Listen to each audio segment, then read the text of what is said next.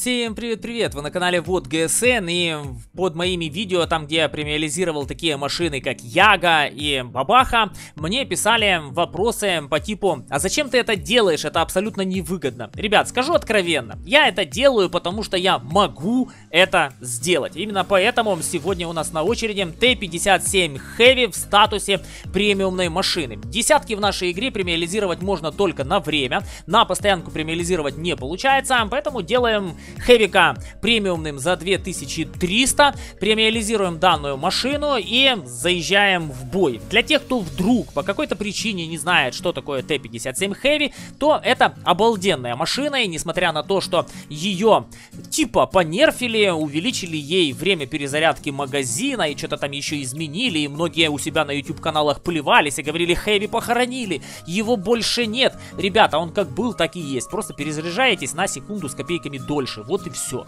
Время перезарядки снаряда внутри магазина 2,5 секунды, 3 снаряда. Каждый из них наносит в среднем по 400 единиц урона, что суммарно дает 1200 единиц с одного барабана. Что это такое? Сейчас попытаюсь объяснить свою позицию, почему я считаю, что Т-57 Heavy, ну, гораздо лучше, нежели, допустим, Т-77, э, премиумная машина на восьмом уровне. Дело в том, что он наносит 1200 единиц с барабана, суммарно он сам весит 2400. О чем это это говорит? Это говорит о том, что на Т-57 Heavy с одного барабана вы сносите половину морды такому же игроку, как вы на Т-57 Heavy. Именно поэтому Т-57 Heavy, ну, наверное, один из лучших барабанных танков в нашей игре. Ну что, друзья, берем Хевика уже в премиумном статусе и погнали тестить. Ну что, друзья, давайте будем начинать. Э, Йоха решил поехать э, через верх. Э, самостоятельно на линию тяжелых танков ехать у меня вообще никакого желания нет. Поэтому поеду, составлю Йоху компанию.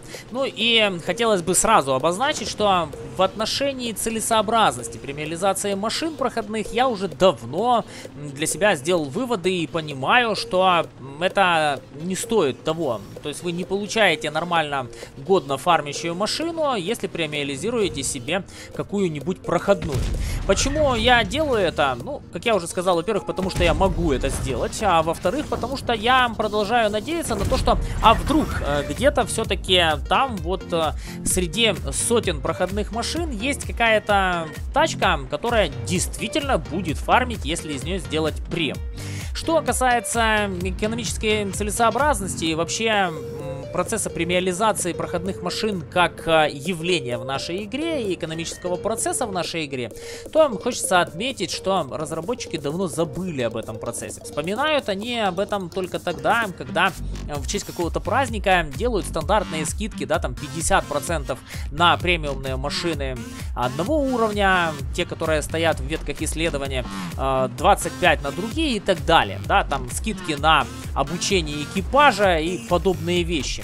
Короче говоря, забыли о премиализации, и только вот в такие вот дни выставляют э, премиализацию со скидкой, э, пускай даже в 50%, э, что в целом все равно не вызывает абсолютно никакого интереса у игроков. И это, в принципе, объяснимо и понятно, потому что если ты премиализируешь машину, то ты хочешь, чтобы она тебе взамен что-то давала. Разработчикам, мне кажется, давно необходимо уже пересмотреть э, вопросы э, ценника по премиализации, потому что э, в таком формате, ну, навряд ли это кого-то будет заинтересовывать, ну и навряд ли будут какие-то э, толпы желающих э, сделать из проходной какой-то машины, пускай даже горячо любимой, себе премиумную тачку. Я попытался сделать, э, допустим, премиумную машину из КВ-2, и не могу сказать, что она начала фармить. Ну, объективно.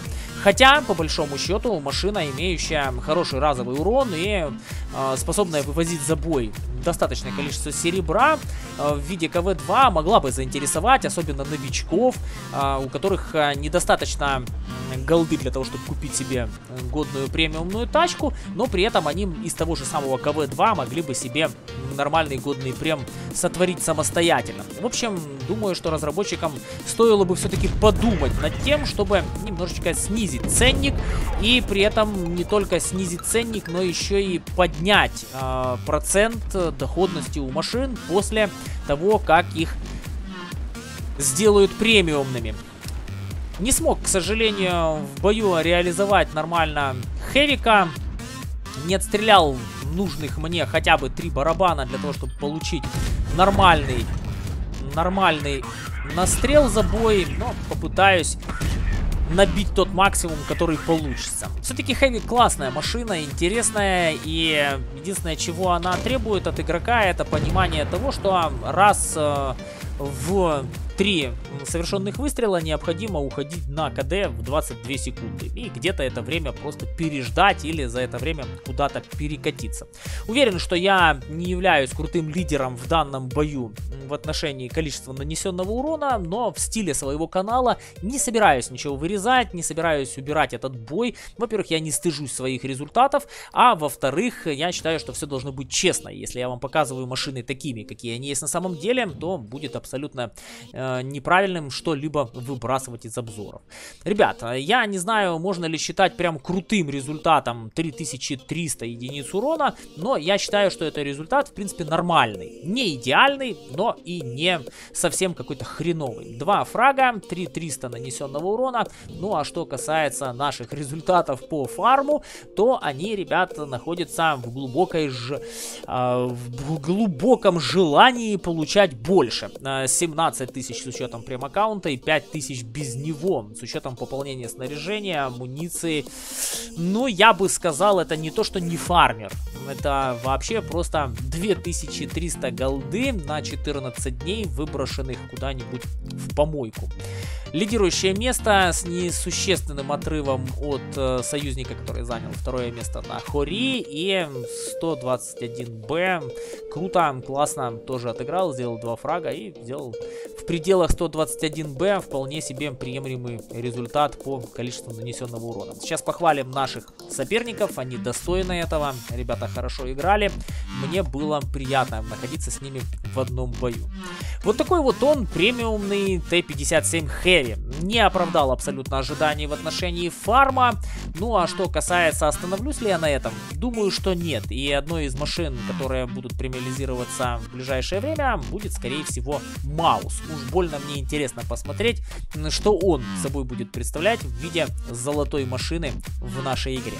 Я побежал снимать следующее видео специально для вас, а вам буду благодарен, если лайкните данное видео и подпишитесь на канал. Мира вам, друзья мои, и обязательно спокойствия. Пока-пока.